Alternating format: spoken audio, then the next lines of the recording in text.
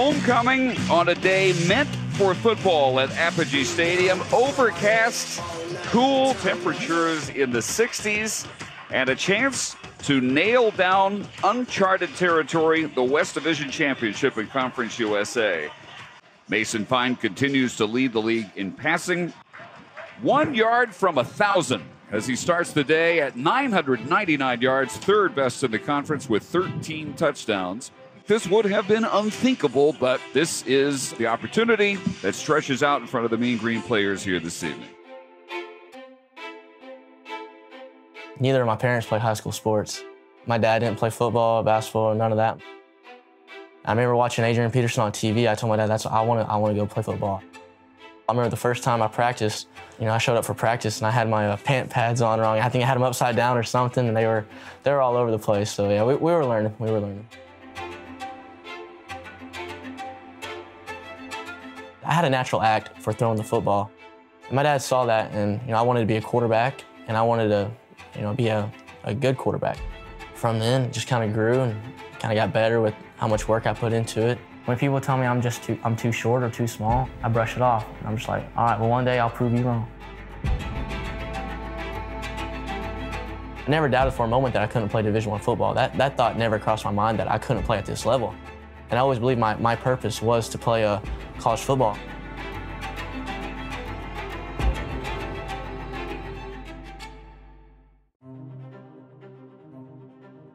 You know, I always had that dream of playing Division One football. I didn't know where my next my next step was. As that date approached, I feel like you know I was going to fail at that dream. That's a big thing when your whole life, those last seven years, have been to accomplish something, you know, something you wanted so bad, and it might not happen. And I just really felt real sad that you know my, this dream might not happen. And my dad just said, "Keep your head up. You know, you don't you don't need tons of offers. You know, you, you can only go to one school. You only need one offer."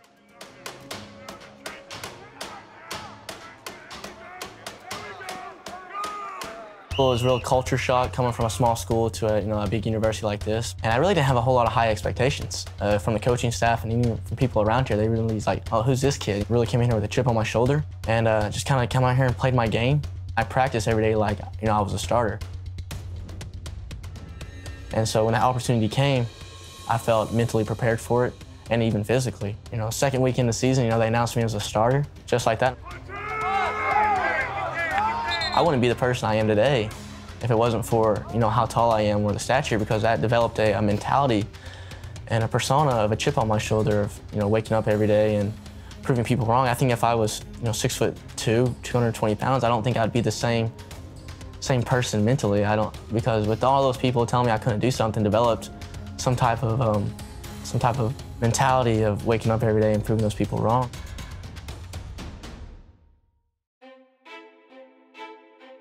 Game day at Apogee, like a lot of energy, a lot of, a lot of people around. We actually stay in a hotel, so they, they bust us up here. Saturday morning, we wake up and we do a, we have a walkthrough. I wake up an hour before we have to get up for chapel. I, most people listen to music. For some reason, I listen to motivational videos. People today complain of lack of time. It's not lack of time that's the problem, it's the lack of direction. It really gets me uh, focused in and locked in, ready to go. As soon as you step off the bus, you just feel that excitement and all that energy from those fans coming here. You can tell as soon as you walk out that locker room onto the football field, you think you're dreaming. You know, all those fans right there, you know, the crowd, the noise, just makes it all worth it. Especially, you know, as a little kid, having that, that, that dream. And you can just hear the, this, the, the speaker over the, the stadium and says, you know. And at quarterback, number six, Mason Fine. And for some reason, I always hear that. I, I, I tune out a lot of stuff during the game, but before the game starts, I always hear that. And that always puts a smile on my face.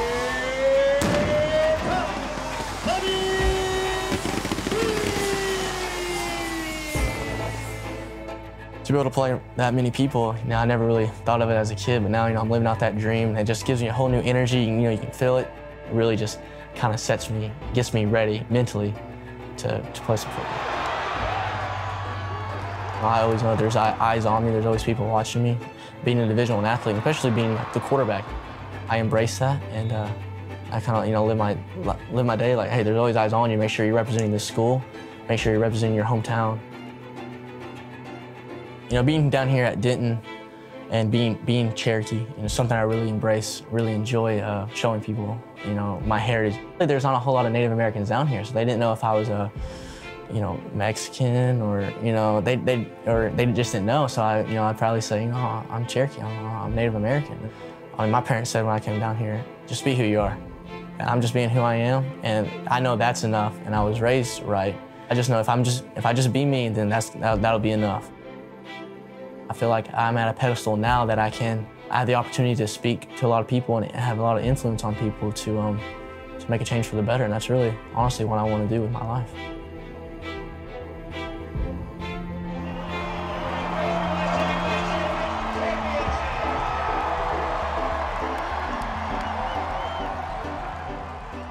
I always have goals, and I think that's one thing I pride myself on is I always have goals.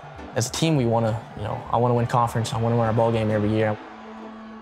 You know, two years ago, this team went one and 11, and now you know we're sitting at the top of our division, six and three. As we can accomplish a lot of things that haven't been accomplished here.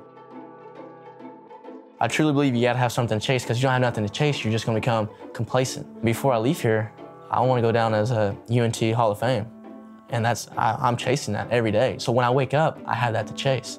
What do I have to do to leave here to be the greatest quarterback of all time here at North Texas? Jeffery Wilson for the Mean Green. Touchdown.